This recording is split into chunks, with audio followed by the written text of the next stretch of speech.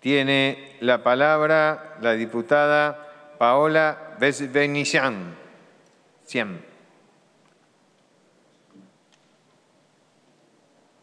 Gracias, presidente. Creo que estamos dando un gran paso. Primero verificamos que en este contexto de pandemia y de urgencia un tema largamente postergado como es la regulación del ejercicio profesional de la fonoaudiología, hoy está presente para ser tratada en el recinto. Esto habla de la importancia y la calidad institucional que le damos a todo lo que estamos votando en este espacio y en el Congreso. En segundo lugar, me parece que verificamos que cuando queremos nos podemos poner de acuerdo y dejamos a un costado todo lo que tiene que ver con esta eh, hipocresía o falta de honestidad intelectual. Creo que queda en evidencia esta buena voluntad.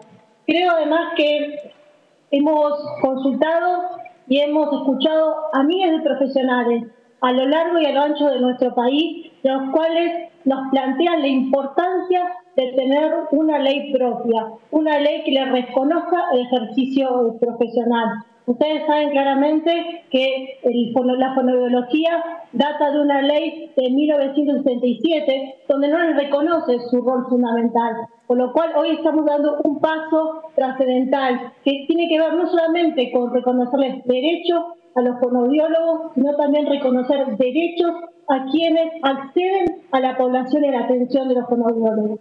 Ustedes saben que hay un dato que marca que más o menos de un 13 a un 15% de niños y niñas menores de 14 años necesitan la asistencia de la fonoaudiología.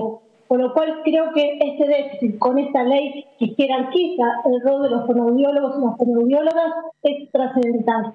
Claramente además me parece que viene a armonizar los contenidos, viene a generar un piso de formación y de calidad institucional en todo lo que hace a la formación, estableciendo la ley requisitos y pautas claras, precisas y concretas para garantizar un ejercicio adecuado. Creo que en este periodo de reconstrucción del sistema de salud es eh, oportuno y apropiado darnos la posibilidad de aprobar esta ley. Esta ley que claramente viene a darle jerarquía a una profesión que data de hace mucho tiempo que la está reclamando.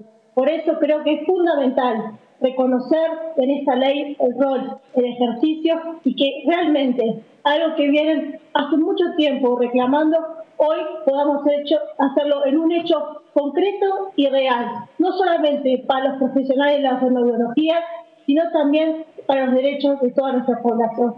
Muchas gracias, señor presidente. Gracias, diputada.